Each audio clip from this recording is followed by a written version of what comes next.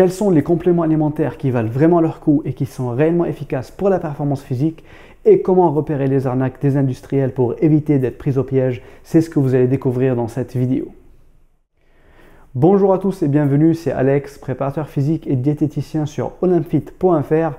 Pour ceux qui me regardent pour la première fois, si vous êtes intéressé par des entraînements plus intelligents, par des exercices mieux maîtrisés et une alimentation plus saine, vous êtes au bon endroit. C'est ce que j'essaie de vous transmettre via la chaîne Olympfit, donc n'hésitez pas à vous abonner. Dans cette vidéo aujourd'hui, je vais parler des compléments alimentaires et surtout des compléments qui peuvent aider dans la performance physique. Je ferai très certainement une autre vidéo dans laquelle je parlerai d'autres compléments alimentaires qui sont efficaces pour une meilleure santé en général. Je vais commencer par un petit rappel très important. L'industrie agroalimentaire et les laboratoires qui fabriquent les compléments alimentaires n'ont qu'un seul et unique objectif, c'est de gagner de l'argent. Donc ils n'en ont rien à faire de votre santé. Mais ça, vous le savez déjà. Et vous savez aussi que la plupart des compléments alimentaires disponibles sur le marché, et surtout ceux utilisés dans le domaine du sport et de la performance, ne servent strictement à rien. Et le peu le peu des compléments alimentaires qui sont réellement efficaces, donc ceux qu'on va voir ensemble aujourd'hui, sont souvent utilisés pour fabriquer un mélange complètement inutile qui sera vendu comme étant un nouveau produit révolutionnaire et bien sûr excessivement cher. Je prends comme exemple la créatine monohydrate, qui est l'un des compléments alimentaires les moins chers du marché. Mais pour innover, pour créer des nouveaux produits et surtout pour continuer à vider vos portefeuilles, les industriels vont mélanger la créatine avec du sucre, donc ça peut être du maltodextrine ou du dextrose ou autre. Ils vont rajouter un peu d'acide aminé, quelques vitamines, quelques minéraux complètement inutiles et vont créer un nouveau produit avec un nom attractif et une belle étiquette pour un prix exorbitant. Donc si j'ai un conseil à vous donner lorsque vous achetez vos compléments alimentaires, regardez toujours la liste des ingrédients et assurez-vous que vous êtes en train d'acheter un produit avec un ingrédient unique. Souvent, les produits qui contiennent un mélange de plusieurs ingrédients sont excessivement chers et ne présentent aucun réel bénéfice. Donc, vous payez plus pour rien. Ceci dit, les quelques suppléments alimentaires qui sont réellement efficaces, c'est-à-dire qu'ils ont été étudiés plusieurs fois, donc pas deux ou trois études, mais plusieurs dizaines, voire plusieurs centaines d'études qui, pour la plupart, convergent vers un résultat positif. Ces suppléments alimentaires qui valent leur coût pour la musculation et la performance sont, premièrement, les protéines en poudre.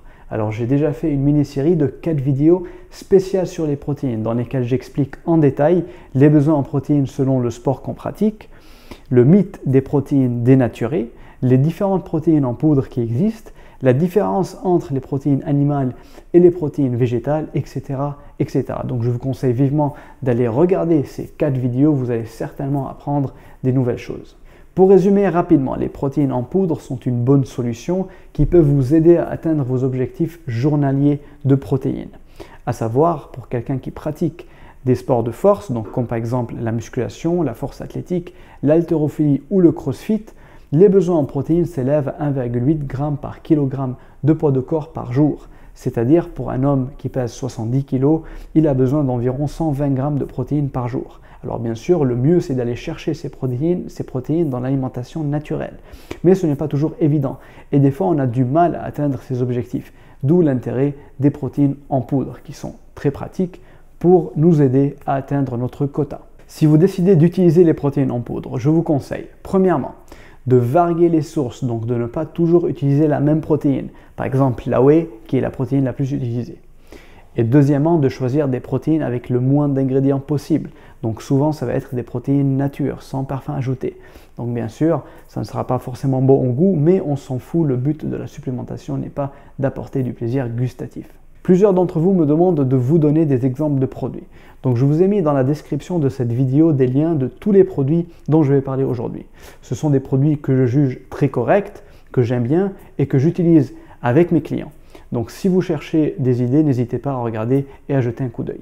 Le deuxième complément alimentaire, c'est la caféine. Alors la caféine est essentiellement une substance psychoactive, c'est-à-dire qu'elle va agir sur le système nerveux. Donc vous savez très bien que la caféine donne un coup de fouet, elle stimule et elle peut être efficace pour vous motiver à garder un niveau de performance élevé en salle de sport, surtout quand vous êtes fatigué après par exemple une longue journée ou suite à une mauvaise nuit. Attention, il y a sur le marché beaucoup de produits pré-entraînement, donc des boosters que vous prenez avant votre séance et qui vous stimulent pour rester motivé. Ces produits sont excessivement chers alors que le seul ingrédient efficace qu'ils contiennent, c'est la caféine. Donc encore une fois, une stratégie marketing pour vider votre portefeuille. Une solution bien moins chère et plus sûre, c'est de prendre une à deux tasses de café environ une heure avant votre entraînement. Donc pour info, une tasse de café contient environ 100 mg de, caféine. Donc cette dose est suffisante pour vous garder éveillé et motivé pendant votre séance, à condition que bien sûr vous ne soyez pas déjà un buveur de café. Parce que comme vous le savez, on s'y accoutume très vite. Et donc pour continuer à ressentir les effets, on est obligé d'augmenter les doses. Et en augmentant les doses, on risque aussi d'augmenter les effets indésirables comme par exemple les migraines, l'anxiété ou l'insomnie. La bonne nouvelle, c'est qu'on peut vite se sevrer du café. Il faut environ 5 à 10 jours d'arrêt pour ne plus ressentir les symptômes du sevrage et être à nouveau sensible aux petites doses. Donc mon conseil, si vous décidez d'utiliser la caféine, c'est de l'utiliser ponctuellement et non pas sur des longues périodes pour éviter justement cet effet d'accoutumance. Occasionnellement, vous pouvez prendre une dose de caféine un peu plus élevée, donc de l'ordre de 5 mg par kilo euh, de poids de corps, comme par exemple juste avant une compétition, pour booster le plus possible vos performances. Si vous décidez d'utiliser la caféine, je vous conseille de la consommer sous sa forme pure, c'est-à-dire donc euh, soit en poudre, soit en gélule. Donc encore une fois, vous avez des exemples dans la description de cette vidéo, ou aussi sous forme de café, mais évitez à tout prix les boissons énergisantes de type Red Bull. Le troisième complément alimentaire qui peut aussi améliorer vos performances, c'est bien la créatine. Alors j'ai déjà fait une vidéo dédiée à la créatine dans laquelle j'explique tout ce que vous devez savoir en détail et je vous donne aussi quelques chiffres, donc des, ordres de grandeur pour savoir à peu près à quel point la créatine peut vous aider. Et en sachant qu'elle n'est efficace que pour les efforts de type bref et intense pour une dose de 3 à 5 grammes par jour prise sur toute l'année. Donc on ne fait pas des cycles de créatine. Pour en savoir plus, je vous invite vivement à regarder cette vidéo en cliquant ici. Le dernier complément alimentaire qui peut améliorer vos performances, c'est la bêta-alanine. Alors c'est tout simplement un acide aminé qui rentre dans la composition de la carnosine. La carnosine est un puissant antioxydant qui va servir à limiter l'acidité musculaire lors d'un effort. Et quand on limite l'acidité, automatiquement, on repousse la fatigue et donc on améliore la performance. Le facteur limitant pour la synthèse de la carnosine, c'est la bêta-alanine. Donc la supplémentation en bêta-alanine permet de garder les niveaux de carnosine élevés, ce qui diminue l'acidité musculaire et bien sûr repousse la fatigue. Alors pourquoi ne pas se supplémenter directement en carnosine? Tout simplement parce que cette molécule ne résiste pas au tractus digestif et n'arrive pas aux muscles. Elle sera dégradée par nos intestins en bêta-alanine et en histidine. Les études montrent qu'une supplémentation en bêta-alanine améliore la performance pour des efforts qui durent au minimum une minute. Donc c'est un peu l'équivalent de la créatine, mais pour les efforts un peu plus longs.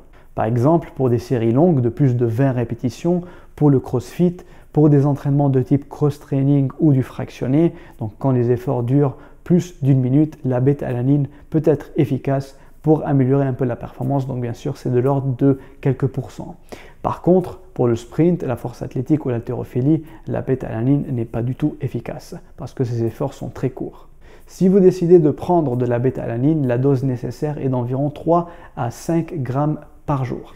Et voilà, voici les 4 suppléments alimentaires qui, d'un point de vue scientifique, ont des effets notables et objectivement mesurables sur la performance. Alors vous avez remarqué que je n'ai pas inclus dans cette liste ni la glutamine, ni les BCAA, ni le HMB. Pourquoi?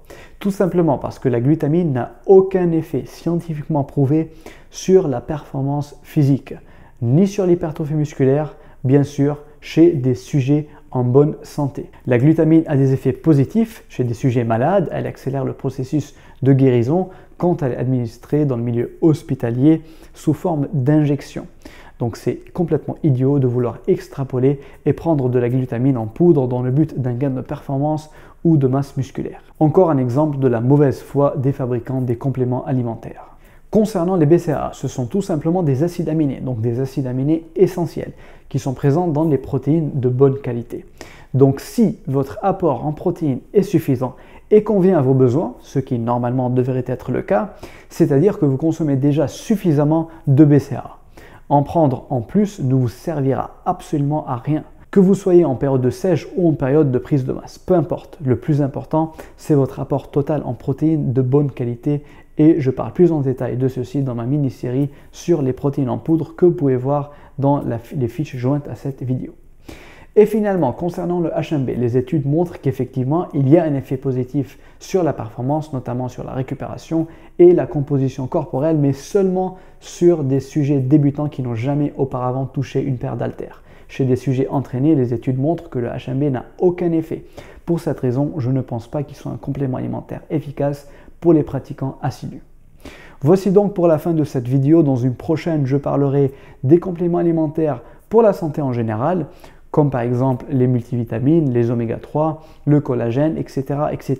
Si vous voulez que je parle d'un complément alimentaire en particulier, dites-le moi dans les commentaires. J'espère que vous avez appris des nouvelles choses en regardant cette vidéo. Je vous invite à aimer, à partager et à en parler autour de vous pour en faire profiter le plus de gens possible et pour m'aider aussi à faire connaître la chaîne Olympite. Je vous dis à très bientôt dans une très prochaine vidéo.